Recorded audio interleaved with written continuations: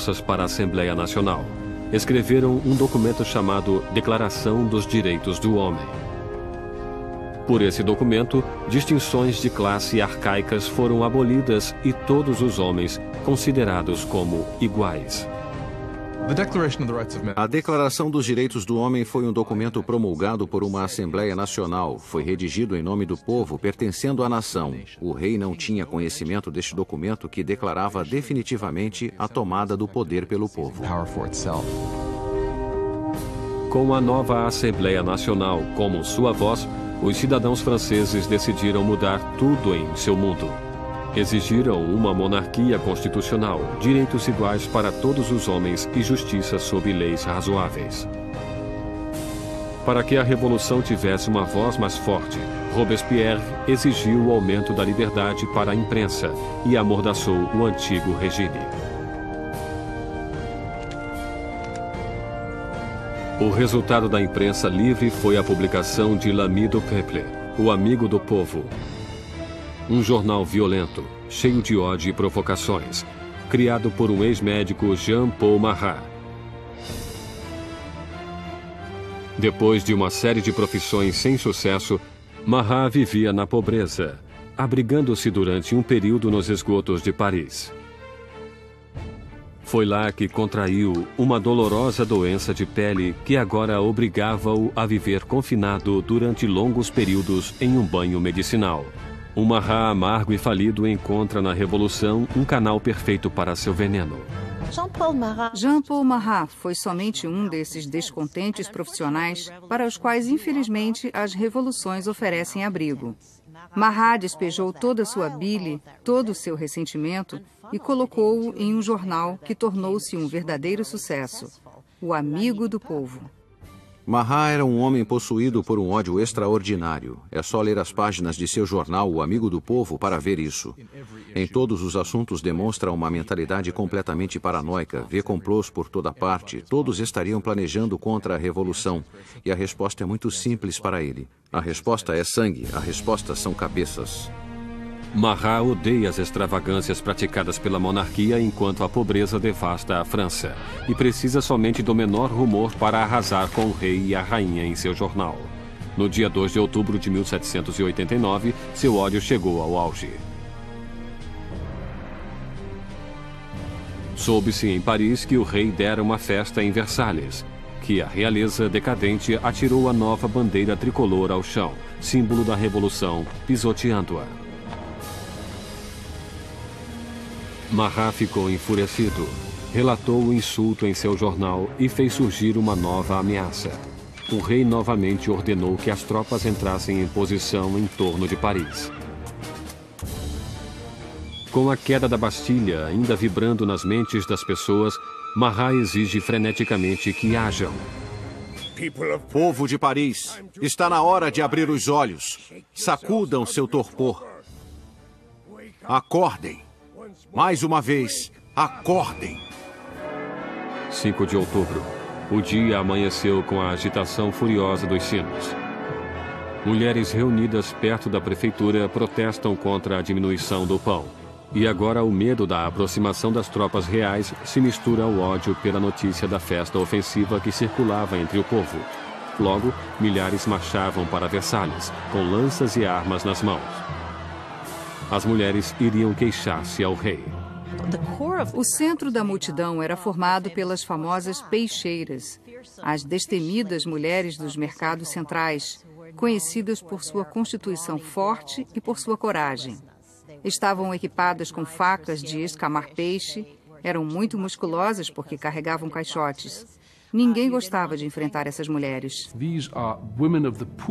Eram mulheres dos bairros pobres que eram mais afetadas pelo aumento do preço do pão, da escassez de produtos que subitamente começavam a perceber que precisavam agir. É extraordinário que essas mulheres comuns, a maioria nem sabendo escrever seu nome, de repente agissem como protagonistas de um processo histórico. No palácio, a notícia da aproximação das mulheres furiosas chegou às câmaras da rainha. Diz a lenda que foi nesse momento que Maria Antonieta disse a frase famosa que jamais foi dita. Maria Antonieta não disse que comam brioches. Isso é um mito. Ela, infelizmente, talvez nunca tenha nem percebido os pobres de seu país tempo suficiente para fazer tal declaração. Quando as mulheres reuniram-se fora dos portões, Luiz compreendeu que a revolução não poderia mais ser ignorada. Estava sendo levada à porta de seu palácio. Concorda então em assinar a Declaração dos Direitos do Homem e a multidão continuou a crescer durante a noite. Pela manhã, 20 mil pessoas acampavam-se diante do Palácio Real.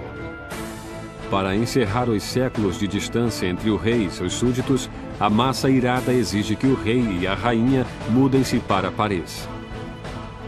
Indeciso, como sempre, Luiz hesita em responder. Sua hesitação provocaria a fúria na multidão e colocaria as vidas da família real em sério perigo. Quando não recebem resposta ao seu pedido, deram a entender que massacrariam a rainha. Uma onda de mulheres furiosas invadiu o palácio, gritando pelo sangue da rainha. Massacraram guardas, decapitando-os e enfiando lanças em suas cabeças. Eram como espíritos gritando pelo palácio. Quero as entranhas dela, quero sua cabeça, quero uma perna, quero um braço. Penso que ficaram tão frenéticas que, se a tivessem encontrado, possivelmente a cortariam em pedaços.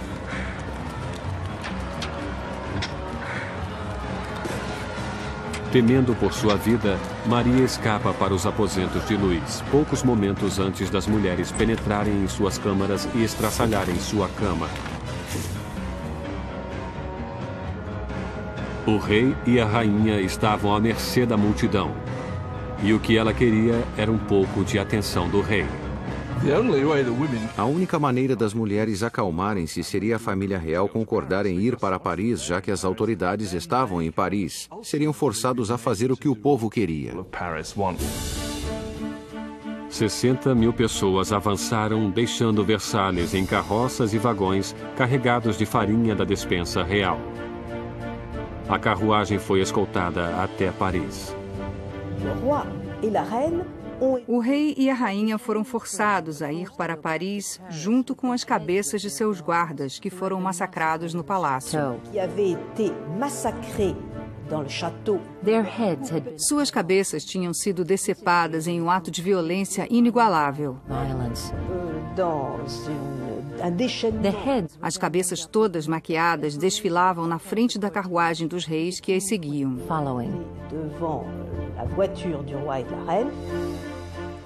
O rei e a rainha deveriam habitar agora o Palácio das Tulherias. Nunca mais veriam Versalhes. Quando a família real mudou-se para Paris, passou a ser prisioneira. Eles sabiam, todos sabiam, havia grandes limites para o que poderiam fazer ou sonhar fazer. Eram os prisioneiros da capital, não havia a menor dúvida. Versalhes ficou abandonada e a Assembleia mudou-se para Paris. O poder agora estava com o povo. A França teria uma democracia, novas leis e uma forma notável e inesquecível de justiça que seria inaugurada no palco revolucionário a guilhotina.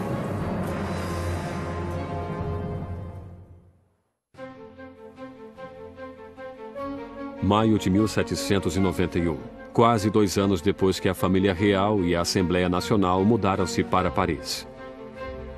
Robespierre dominava a Assembleia e o Clube Jacobino, uma sociedade de debates formada em um monastério jacobino, onde reuniam-se Naquele momento, acreditava-se que o centro da revolução e Robespierre falavam com a força da moral. Seu verdadeiro norte era sempre o povo. Logo recebeu o apelido de O Incorruptível. A França agora era uma monarquia constitucional. O rei foi obrigado a dividir o poder com os revolucionários na Assembleia, mas a parte de Luís diminuía dia a dia enquanto era obrigado a assinar lei após lei diminuindo sua própria autoridade, além de outra do regime feudal, a da Igreja Católica. Luís decidiu que chegara a hora de fugir da nova república e montar uma campanha para reclamar seu reinado. Luís decidiu em 1791 que precisava retomar o controle do país. e sabia que só poderia fazer isso com a ajuda de um exército estrangeiro. Teve então a ideia de fugir do Palácio das Tulherias e dirigir-se para a fronteira mais próxima. 21 de junho de 1791. O rei e a rainha, disfarçados como criados, fugiram do olhar ameaçador de Paris. Planejavam conquistar sua liberdade. Já passava da meia-noite quando a família real chegou à pequena cidade de Varennes, 160 quilômetros a leste de Paris. Estavam perto da fronteira da Áustria, a salvação estava próxima. Mas seu caminho para a liberdade não foi adiante.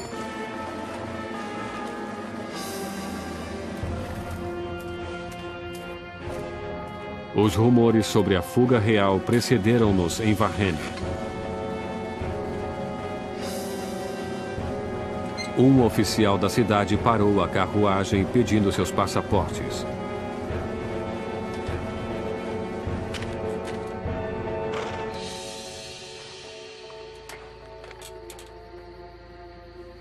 Sua suspeita foi confirmada. Era a assinatura do próprio rei. Ele ficou surpreso com a visão de seu rei. Mas a guarda revolucionária não demonstrou reverência pela realeza. O rei esperava que o povo o reconheceria e que haveria uma rebelião em seu favor. E, para seu horror e surpresa, não se deslumbravam ao reconhecê-lo. Viam-no como um fugitivo e imediatamente foi preso e levado a Paris. A ideia de que o monarca abandonara seu povo foi psicologicamente catastrófica. Esse acontecimento rompeu o laço entre Luís e seus súditos. Agora tinham um rei que não era somente supérfluo. Tinham um rei que também era um traidor. Com a família real oficialmente presa da Revolução, o poder passou de Luís, agora um rei prisioneiro, para os revolucionários na Assembleia. No coração daquele jovem governo revolucionário estava Robespierre. Ele brilha no pódio gritando por liberdade, igualdade e fraternidade. Exige o sufrágio universal e o final da escravidão nas Índias Ocidentais Francesas e, mais pacialmente ainda, grita contra a pena de morte. Durante essa nova era do Iluminismo, Robespierre desejava eliminar todos os remanescentes do passado primitivo e medieval. A Europa herdara um repertório macabro de todo tipo de execução vinda da Idade das Trevas. Arrastavam pelas ruas, esquartejavam, enforcavam, afogavam e queimavam em fogueiras. Sob o antigo regime havia uma escala de castigos terríveis e a decapitação era um castigo reservado para a nobreza e uma das coisas que os revolucionários queriam desde o início era que todos fossem iguais na morte. Queriam simbolicamente que o mesmo castigo fosse aplicado em todos. Apesar da oposição de Robespierre, uma nova máquina de morte tomou o palco central de Paris. Seu inventor, Joseph Ignace Guillotin, criou um novo tipo de máquina que transformasse a antiga decapitação em um ato mais humano. O Dr. Guillotin descreve sua nova invenção para a Assembleia. O mecanismo cai como um raio. A cabeça separa-se do corpo, o sangue jorra e o homem está morto. Sendo um apreciador do derramamento de sangue, o jornalista Marat anuncia entusiasticamente o novo invento, dando-lhe o nome de guilhotina. Que logo seria conhecida por outro nome, a Navalha Nacional. Os revolucionários franceses acreditavam em valores humanos. Acreditavam não ser necessário causar sofrimento desnecessário. E o que gostaram sobre a guilhotina era sua rapidez, eficiência. E até onde se sabe, já que ninguém voltou para dizer, era indolor. A guilhotina silenciou os inimigos internos da Revolução. Qualquer um que fosse suspeito de tramar a volta de Luís ao trono. Mas eram os inimigos que rodeavam a França que mais preocupavam a Assembleia. Havia um temor de que membros da família real que fugiram para a Áustria lançassem uma contra-revolução. A Assembleia convoca um ataque preventivo, uma declaração de guerra contra a Áustria. Mas Robespierre era contra. Robespierre é uma das poucas vozes que opunha-se à guerra, pois pensa que o inimigo venceria. Robespierre tem medo do país não estar pronto. Não tem um exército capaz de derrotar o inimigo. Portanto, esse inimigo poderia surgir e destruir a revolução. Robespierre perde o debate. Em abril de 1792, a Assembleia declara guerra à Áustria contra um país governado pela própria família de Maria Antonieta. Cresce o furor nacionalista. Se a Áustria derrotasse o exército da Revolução, Luís poderia voltar ao poder. E Maria seria suspeita de traição por se corresponder com sua família na Áustria abandonando sua fidelidade à francesa com o movimento de uma caneta. Enquanto isso, o rei e a rainha fingem ter aderido à revolução. Luiz e Maria Antonieta fazem um jogo duplo, muitas vezes parecem concordar com a revolução, ao mesmo tempo conspiravam contra ela. Estavam tentando sobreviver. Se quisermos ser generosos, eles eram sobreviventes, mas se quisermos olhar do ponto de vista revolucionário, estavam mentindo. Com as grandes perdas sofridas pelo exército francês na fronteira, chega a notícia de que a Prússia, aliada da Áustria, juntara-se à invasão. As tropas inimigas são mobilizadas sob o comando do Duque de Brunswick, um general prussiano. A tensão percorre as ruas de Paris. E então, os jornais publicam uma carta do Duque de Brunswick, um manifesto para a destruição de Paris se qualquer mal sucedesse ao rei e à rainha. A confusão espalhou-se. Todos queriam salvar suas vidas. 10 de agosto de 1792. 27 mil cidadãos armados, animados por um ódio indignado, dirigem-se para o Palácio das Tulherias e caíram sobre os guardas do rei em um ataque selvagem. No final do dia, mais de 800 pessoas de ambos os lados estão mortas. O rei foge para esconder-se na Assembleia, mas não existe mais a monarquia. Luís é oficialmente destituído de seu título. Nascia a República Francesa. A lâmina da guilhotina foi batizada com o sangue dos guardas remanescentes de Luís.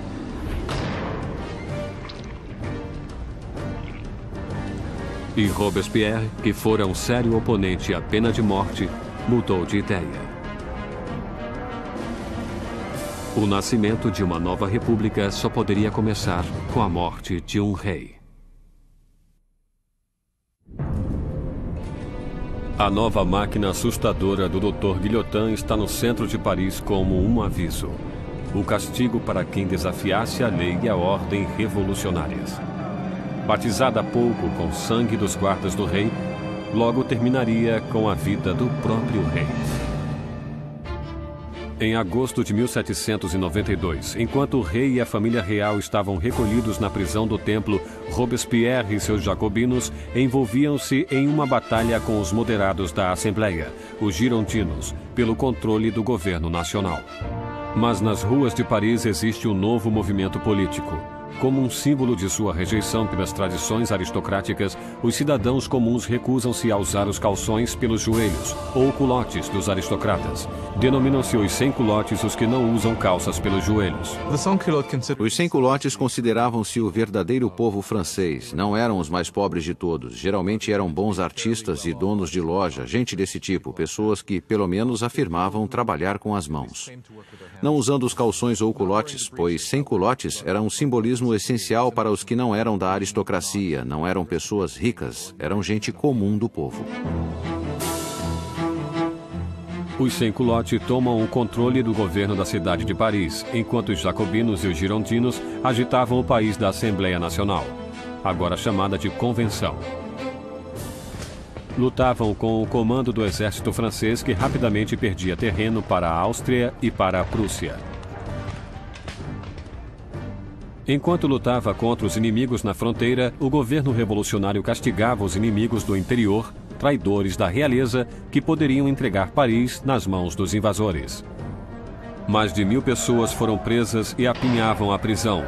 Padres, jornalistas, homens e mulheres comuns. Robespierre concentrava-se na crise interna. Mas seu amigo, o ministro da Justiça, Georges Danton, atiçava jovens e velhos a juntar-se à guerra na fronteira. É gregário e barulhento tudo o que Robespierre não era. Logo, o nome de Danton era ouvido por toda Paris. Danton Danton era um personagem maior do que o mundo, homem cheio de vida, cheio de animação, um tremendo bebedor, bagunceiro, que julgava pertencer às altas classes ou às classes educadas. Era um homem que, diferentemente de Robespierre, podia identificar-se com os trabalhadores de uma forma que Robespierre não conseguiria. Finalmente, a retórica agitada de Danton mobiliza as pessoas, inspirando muitos a partir para a linha de frente.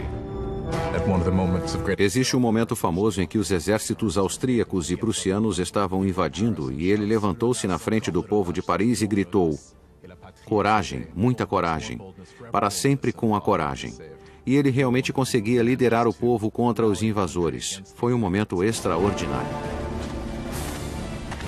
Com tantos homens úteis partindo para a frente de batalha, deixando Paris sem defesa, as prisões estavam cheias de prisioneiros políticos. Uma nova onda de medo invadia a cidade. Conter a massa crescente de prisioneiros poderia tornar-se impossível. Marat incitou um chamado sangrento aos revolucionários para entrarem na prisão e matarem todos os prisioneiros. Os exércitos estrangeiros avançavam para Paris. Se tivessem se unido em Paris com aqueles amargos inimigos da revolução nas prisões, claro que os resultados teriam sido terríveis também para o povo.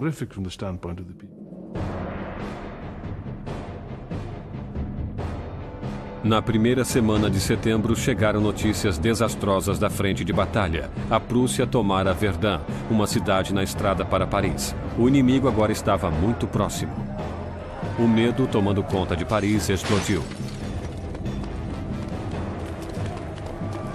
Os sem-culotes invadiram as prisões e atacaram ferozmente os prisioneiros. Nenhum traidor permaneceu vivo.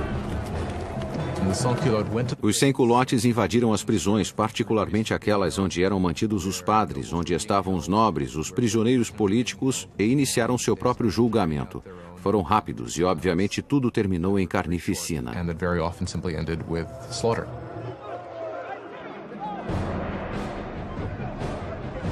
Mulheres eram estupradas brutalmente, padres eram destripados, aristocratas cortados em pedaços. Há uma estimativa de que mais de 1.600 pessoas foram mortas em questão de dias.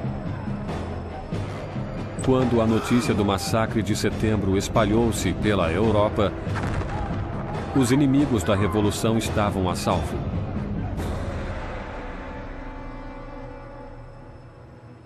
Do outro lado do canal inglês, o London Times noticiou a revolução. São esses os direitos do homem? É essa a liberdade da natureza humana? Os tiranos mais selvagens de quatro patas que percorrem a África inexplorada são superiores a esses animais parisienses de duas patas. A revolução tomara uma direção inesperada. Até mesmo Robespierre compreendeu que as coisas foram longe demais, que o povo não podia dirigir uma revolução própria. Precisavam de liderança, de uma mão de ferro. E com o poder de suas palavras, o incorruptível surge como aquele que lideraria a revolução. Robespierre, que lutara por uma monarquia constitucional, agora acreditava que não havia mais espaço para o rei. E tomou uma decisão de momento. A França julgaria seu próprio rei.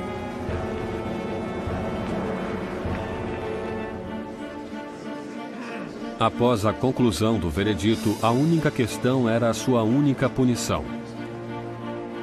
Os moderados girondinos pediam que sua vida fosse poupada, deixando-os isolados na convenção. Os girondinos cristalizaram-se como uma facção na convenção sobre o debate sobre o rei, pois, mesmo desejando uma república, não tinham certeza de que o rei devesse morrer. Mas os girondinos foram vencidos pelos jacobinos que queriam sangue. Por que os jacobinos queriam matar o rei? Creio que queriam matá-lo porque, como Robespierre disse brilhantemente, temos que matar o rei para que a revolução viva. Se o rei estiver certo, a revolução estará errada. Em qualquer sistema que tenha existido, só existe uma penalidade para a traição, e esta é a morte. E nesse sentido, se o rei era culpado de trair o país em tempos de guerra, então deveria morrer como traidor. The argument is that he must suffer the death of a traitor. No dia 20 de janeiro de 1793, Luís XVI foi declarado culpado. A sentença foi lida. O rei deve morrer.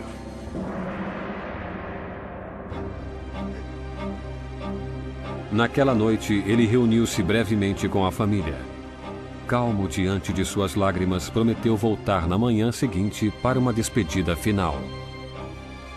Não voltou. Não suportaria a angústia de sua família e não queria enfraquecer-se no caminho para a guilhotina. Pela manhã, uma carroça levou Luiz para o cadafalso. E ele historicamente encaminhou-se para a lâmina.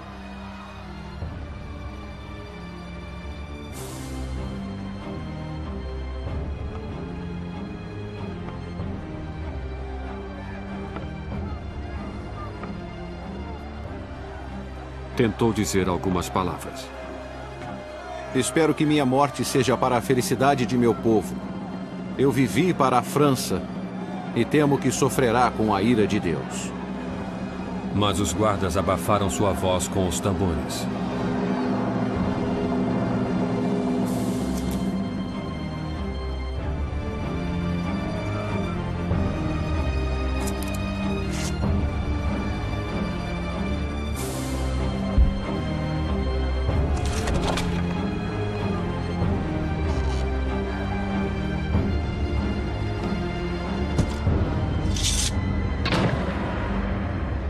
10 horas e 22 minutos da manhã, o homem que fora rei não mais existia. Na prisão do templo, Maria ouviu os tiros de canhão anunciando a morte de seu marido. Desmaiou de desespero.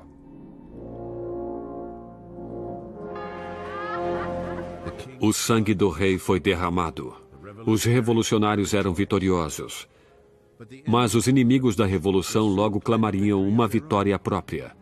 Seu alvo o homem que queria ver tantas cabeças rolarem. Jean Paul Marat.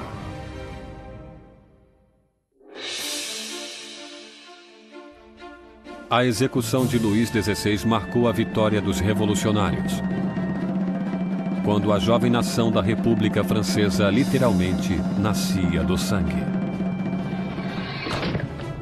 No final de 1792, os radicais jacobinos, acreditando que a jovem revolução corria o perigo de ser sabotada por traidores, incitavam a revolução por meios cada vez mais violentos.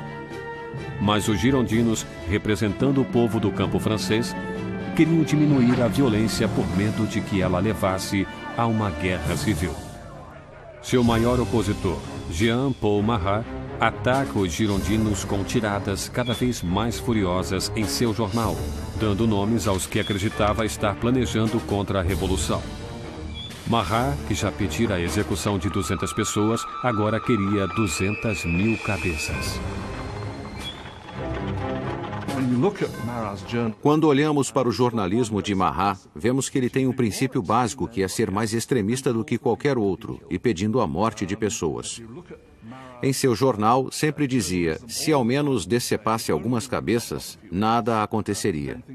E quando as coisas não iam bem, se cortasse mais cabeças, então ficariam bem.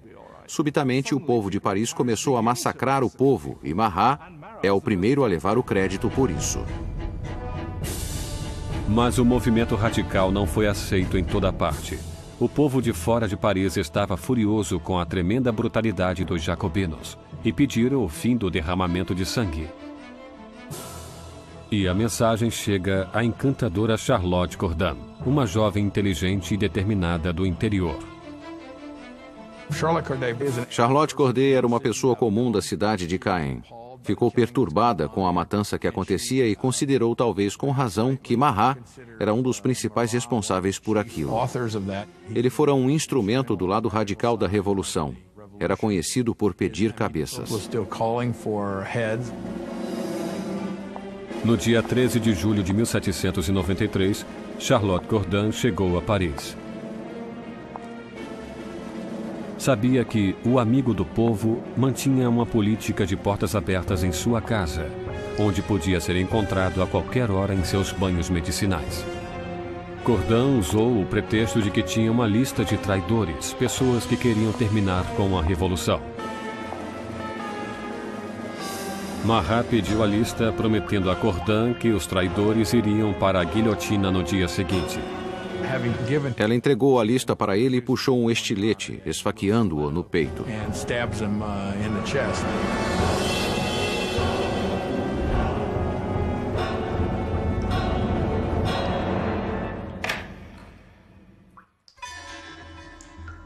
O chamado amigo do povo morreu rapidamente.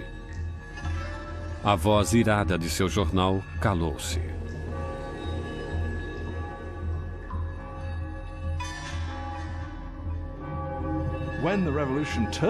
Durante o caos da revolução, a culpa era sua, mas isso é o que seus inimigos e os que o temiam diziam.